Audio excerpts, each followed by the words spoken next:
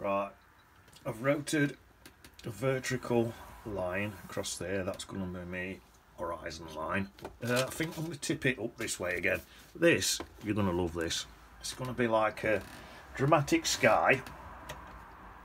So it's like good practice for painting dramatic skies.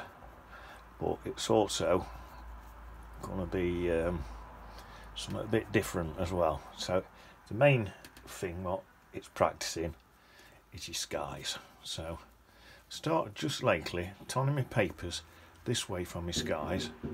So it just runs down this way and it seems to be working pretty good for me. So much back like that and then I think what I'll do in a minute is probably spin it back to the way. Plenty of water on that that's nice. And then them gaps where there's whites I think I still want soft lines so just dipping into pure water and just popping that in like that. There. That's nice. Oh lovely jubbly. Sand. And then I think I'll spin it back that way. Now and let it drip that way as well. There. Now I want some uh, darker colours now. So I'm going to mix now a dark blue an ultramarine would be a good one, or a cobalt. Any dark blue, really, wherever you've got on your palette. Not that important. Mixing it with a bit of burnt umber and a bit of Payne's Grey. So it goes a right dark colour. And then just plopping it in. Dead thick in there. Dee, dee, dee, dee. Dee, dee, dee, dee, dee. Popping it in, just like my stepbrother. A bit thick if he's watching, he's going to kill me. That's how one more down there. I wonder if I could blend that, soften that in a bit with me. Get a separate brush with just water on it, soften it in a bit. I think so. That's it, especially on these bottom bits. So these bits want, um, they're going to be more faded. And all that dripping, look, don't worry about that, that's good. Tell let's get that, spin it back round again. That way and let's go upside down like that and just let it let it all drip about a bit. You get some right good effects. See what happens. I'll let a sip of coffee while that's dripping. Mm. oh, look at that. Lovely jubbly let's now take it that way well, I'll tell you what I can do now while I'm that way put some more in on this bit up here.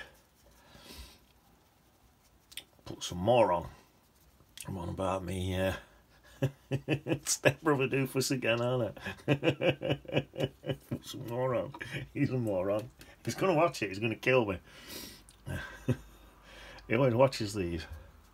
He reckons he's going to learn how to paint, but I always say anyone can learn how to paint except my stepbrother doofus but anyone else can. Me and my stepbrother Doofus, we uh, we've got sent in a bit of bother. We've drove drove to Fruit Village and uh, in his open top car. We've both got done for indecent exposure. The police reckoned that we were pulling a moon, but we weren't. We were just driving through open top car. We weren't pulling a moon, and. Uh, we thought we'd get suntan we've gone a lovely colour blue. It was freezing. But anyway um, we uh, I thought they said it's oh it's fine. But apparently they said we've got to pay a fine. So now well what this this is a bit back what happened is um, we ended up having to go to prison that that good though on sports day. Up pole vaulters went missing. Right, let's have a look. Shall I pop a bit more of that blue in there? For when it drips down, just dripping about. You know what? I reckon I'm going to add some more Payne's Grey into this. Well, in fact, yeah, let's add some more Payne's Grey in and see if that drips down even better. It's just pure Payne's grey now, this is. See if that drips down. Even better. Looks nice, doesn't it? Payne's grey. This is really good practice for how to do a dramatic sky. Tiny bit in there. Tiny bit down there. Tiny, tiny bit in. It's just letting it all run about, you see. Let's let it drip back that way now. That way. So you can see it. I'm holding it right up at um, like that look. Right up to I'm just letting it drip. Dee, dee, dee. Oh, it's looking nice. Oh, just looking, there's a little bit there, and it's hard edge there, look, but because it's just in a bit of a square shape, sometimes I'll leave tiny bits of that in, because it's in that slight square shape. I've took it out, I left a tiny bit in, I don't know if you can see it. Right, I'm thinking now, that might be enough for that sky, but it's a nice dramatic sky look, so if I do that now, I'll leave it that way. Right, now, I want some bushes in. Is it still wet enough? Hopefully it's still wet enough. Get some bushes in. Go quick. If you go quick, then if it is still wet enough, it's cool because you've gone quick, so you've got your bushes in. Then, if that dries a bit, I'll be sort of quite happy because I'm going to do another layer of bushes slightly closer, I think. Probably just with same colour. You're going to love this when I've done it. It's something very different. I just had this sudden idea and I thought, I've never seen this, what I'm going to paint now, in a watercolour painting before. And there probably is, probably someone's done it before, but I've just never noticed it. And I thought, what a good idea. I'll tell you what it, I might as well just tell you. What happened, someone, I'd painted a picture with someone who'd been carrying some logs, well, some sticks and that, like so they were carrying it back for a sort of log fire or something. And someone said oh is that scarecrow? So I was a bit offended because it weren't it was someone carrying sticks but I thought that's not a bad idea for a painting. Equal scarecrow. I think I'm going to add some of this blue in this background here just as like an underpainting. Yeah I thought not a bad idea that. Paint one a little scarecrow in it. So I'm going to paint an open field with Scarecrow in it. And then it's mainly going to be a sky sky painting. The main thing about it is the sky. So it gives you a good chance to practice your skies. There, that's not looking bad at that. Right I'm going to squeeze that paint out now and wash my brush. And I've managed to get it all over my hands. Just let it dry a bit. Nice and relaxing this one. You can take your time. Because I'm just waiting for that to dry a tiny bit more and then I'm going to come in with some more paint. But at the minute it's still looking quite wet so what I'm going to do while that's dry you know it's drying a bit over this side. So maybe it actually ought to be quite quick. But while that's drying get some I'll just watch that that way a bit that's better. Get some yellow paints in this front ground here while that's drying this is all like an underpainting. Building layers up as we go along. I'll go right up to the top with that because it can blend and drip down and that look. There. Quite watery. I've just dried my brush to dab, dab this really watery bit off. I'll add that. Take it off and put it further up there, look. There we are. There, that's me underpainting. Right, I'm just looking at this now. Dab back into that other colour. Tiny bit more brown on it. Let's see what. Oh, that's nice. Just a tiny bit stronger look. So it looks like there's two lots of trees there. It'll throw that other lot back. Tiny bit more brown in. Oh, that burnt umber by adding that in, look, took it a tiny bit more of a green colour. What looks quite nice. Oh yeah, like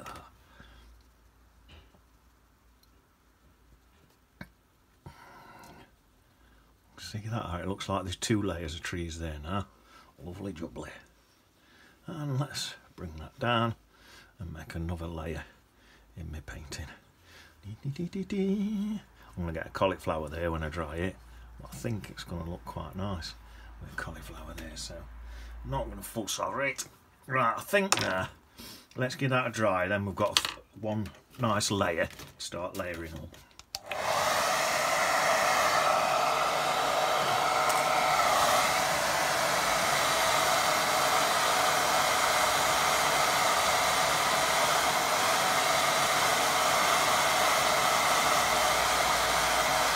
Going gentle with my hairdryer so I don't blow the water everywhere and blow the paint everywhere. When it sets a bit, I'll turn it up. There.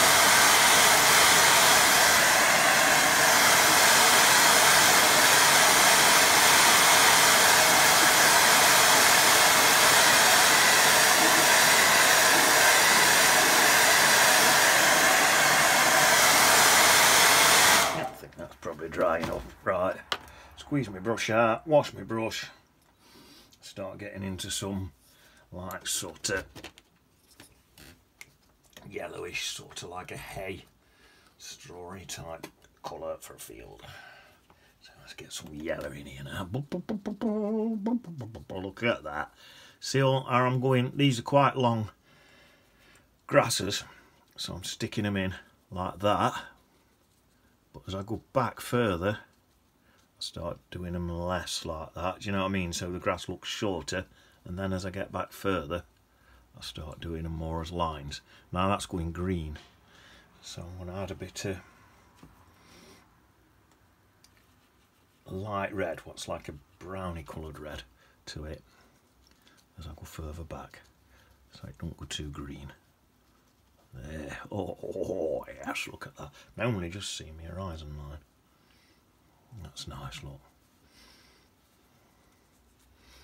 I wished I'd not gone through that speck of white there, but never mind. Yeah, into there like that, into there, and then some more spiky bits down here. There, that's not looking bad, is it? I'm going to have to do a few dries on this one now. Try that again. So I'm building layers, as you see.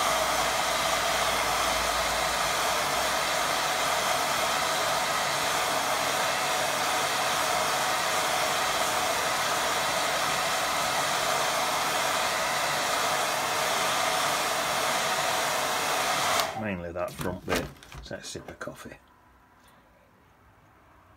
Mm. Lovely. I want more of that colour to come onto this front bit now. That's nice. Oh, yes. There, just to come over top of some of them. See how this bit's looking closer, look. See how quick I'm doing it? The quicker you go, more random you get. Looks better, ends up looking better. Sometimes I used to think, why don't they paint dead quick? I need to paint that quick, just take your time. But I'm guessing that's why they did it. I say they, I'm talking about people I used to watch when before I became a genius. There, look at that. Lovely. Another dry. And then I'm going to add some more. Keep drying. Adding more. Drying. Add more.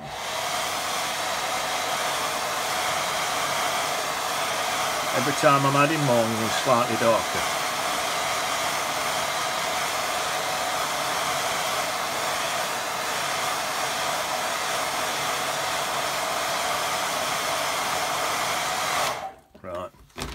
it's even darker now.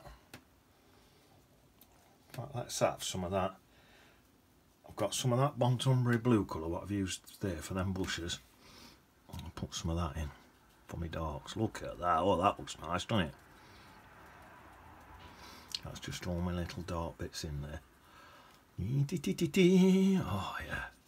I like that. And then, obviously, as we're getting, I'm going more um, vertical strokes across here now as I'm getting further back rather than the grassy strokes because the grass is going to appear shorter as it gets more in distance in it. Of course it is. Of course it is, man. So, well, it's not looking bad, is it, that? I am thinking, could I do with some more yellow in that background bit there? Levies. sort of the shadows off the clouds in that background bit there then it looks like there's a gap in the clouds here give me a bit of sun I do quite like it like that.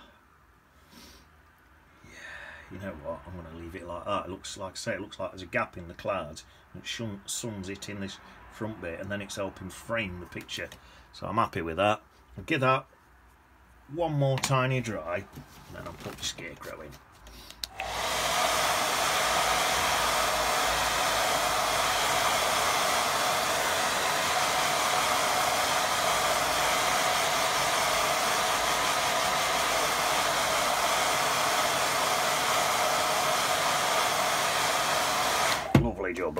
Right, just move that clip to a man there. That's it. Now, Scarecrow, I'm going to go that same dark colour there. I think it'd be sort of silhouetted. Don't put it in the middle. You could put your on there. I'm going to put mine there.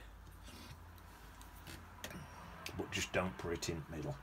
Because it'll look daft. I guarantee it. Right, where's my glasses? I want my glasses on for this. Which brush is the finest, that one.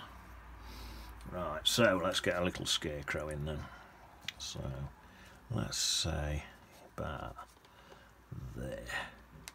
So it's just like doing a little carrot to start with. A little carrot. like that. maybe it's got like a long coat on. And then it's like on a little stick. Like that. The arms is just would just be like a pole. So they'd just be sticking straight out like that. That would be like an old broomstick or something.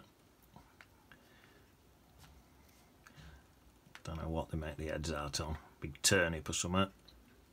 I'm make his head quite long because I'm going to put him an hat turn his head into an hat in a minute. This thing there? I'll get this tiny little brush and try and just make it look like there's some bits of straw hanging down from his from his arms if I can. Little bits of straw. Oh, get his hat in as well. Look, that's his hat. So he's got an hat on. Some little bits of straw hanging down from his arms. I don't know if you can even see that. Bits of straw. Right, let's say my light I think it's coming in this way. So if I darken this bottom bit here, darken under the arms under there.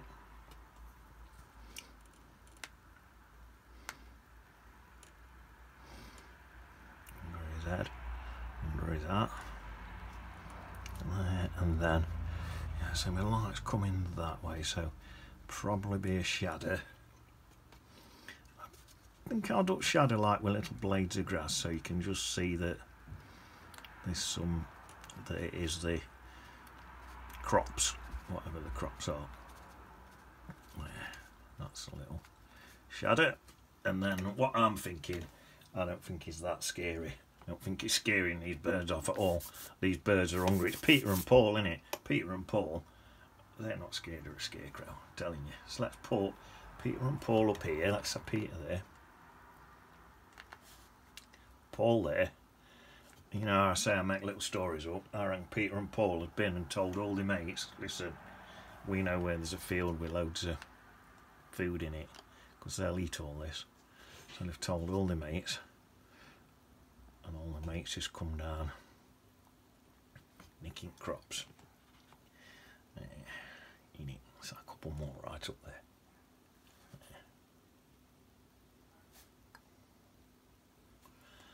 There, they're all there nicking all stuff. We'll put a Bernadette on it. Don't forget to sign yon. Don't sign yon, but uh, unless your name's also Birdie. But